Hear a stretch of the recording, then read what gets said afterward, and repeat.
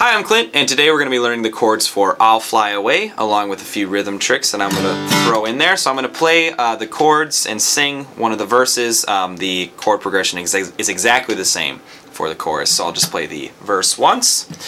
Some glad morning when this life is over,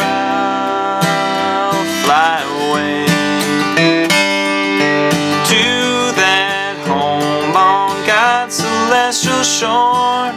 I'll fly away. So um, I'm doing a pretty, just again, it's pretty standard boom chuck pattern, which is your one and your five tones. Uh, we're in, we're in uh, playing on a G right here. Um, so we have our one chord, which is a G, four chord is your C, five chord is your D.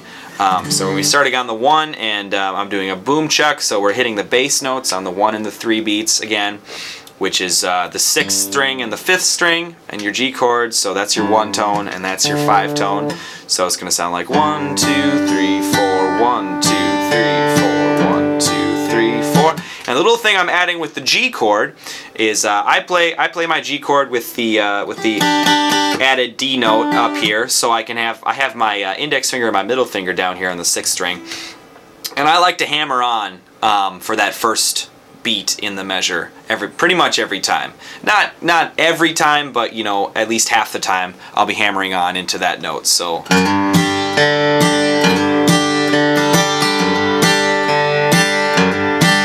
And I'll also add in a little flourish there um, between the uh, around the third and the fourth beats, which is uh, two upstrokes. So one, two, three, and four, and one, two, three,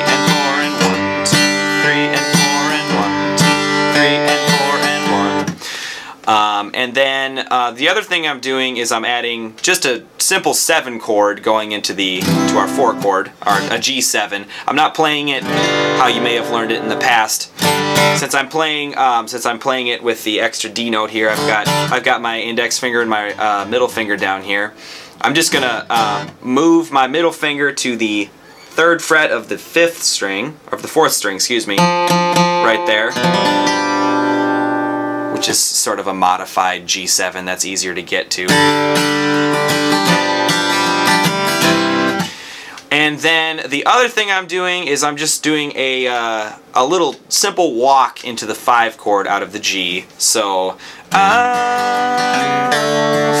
away, which is just a slide from, with, I'm using my middle finger, slide from the 3rd fret on the A string to the 4th fret on the A string, the 5th string.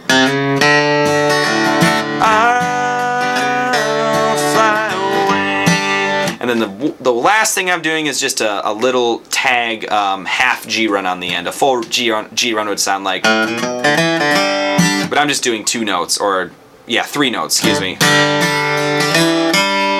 with my index finger here because it's free to move around out of this G chord. So I'll